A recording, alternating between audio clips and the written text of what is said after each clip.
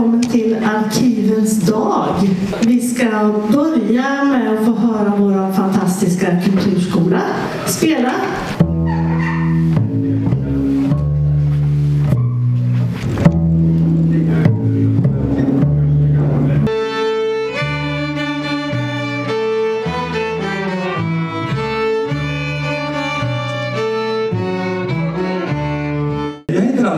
Lindqvist och jobbar som länsarkivarie i Östergötland. Och eh, i det så ingår också rollen som samordnare för det som vi sedan 25 år tillbaks kallar Arkivens dag. Något som har firats eh, alltid den andra lördagen i november sedan 1998 med syfte att göra arkiven mer synliga.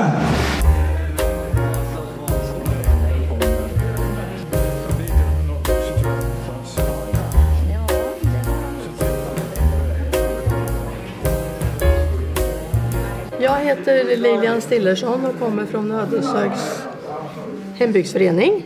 Vi har ju vandrarhemsverksamhet i två utav husen. Vi har 17 hus faktiskt att ta hand om. Vad betyder arkiv för er? Vad Ja, betyder Vi, vi ska ju starta upp ett nytt arkiv. Ja, Så då ska vi sortera och, och arkivera.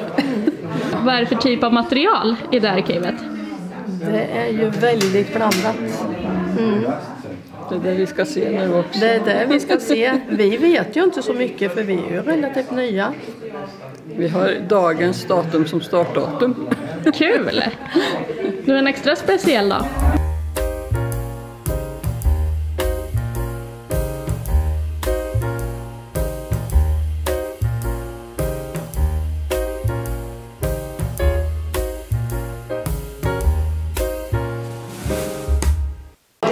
Jag heter Anna Eklund Jonsson och kommer från Riksarkivet i Vadstena. Ehm, alltid vara med på Arkivens dag och vi ehm, stöttar upp för att visa vad den statliga arkivsektorn har och kan visa. Så vi har med oss årsboken till exempel, 1523, en hel del ny forskning eh, gjord av folk eh, från Riksarkivet och eh, kopplade till oss. Vi har med lite broschyrer och sånt och sen har vi tagit fram bilder ur olika arkiv som eh, handlar om eh, Ödeshögs kommun kan vi säga, eller egentligen då det kyrkoarkiv, det är eh, eh, något enskilt arkiv och så.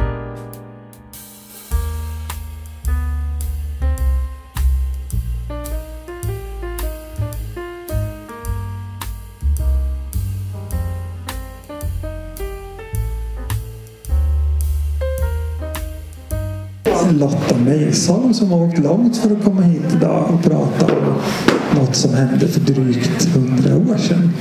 Jag är arkeolog och forskare och eh, de senaste åren så har jag ägnat mig ganska mycket åt eh, ångaren Per Brahes undergång i Vättern för lite drygt hundra år sedan som ni säkert är bekant med de flesta av er gissar jag.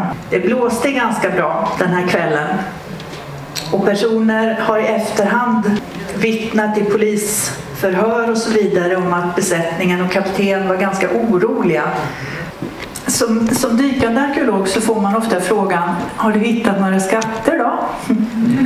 Det som verkligen får hjärtat att hoppa till det är de skatterna som man faktiskt hittar i våra arkiv.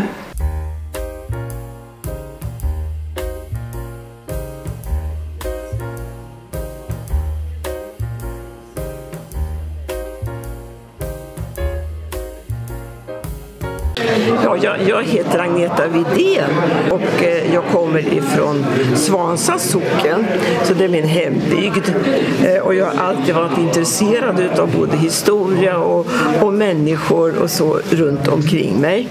Så att eh, på något sätt så, så har jag blivit engagerad i, i det här med, med vår historia här genom Rök Svansans byalag.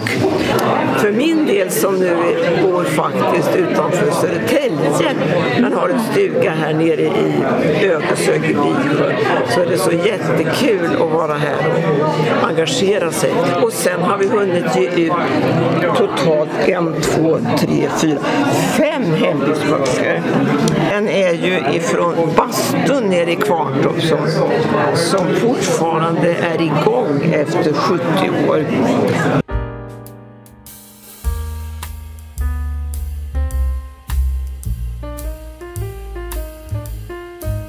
Den här bilden är ju korrekt. Den är korrekt. Om ni och jag skulle idag göra en okulär besiktning från Treriksrösen i norr, där det för övrigt inte finns några byggnader, ner till Smugegug i söder, så är mangårdsbyggnaderna rödfärgade i 60 procent av fallen i Sverige. Den skulle rödfärgas. Inåt gården fick man göra som man ville.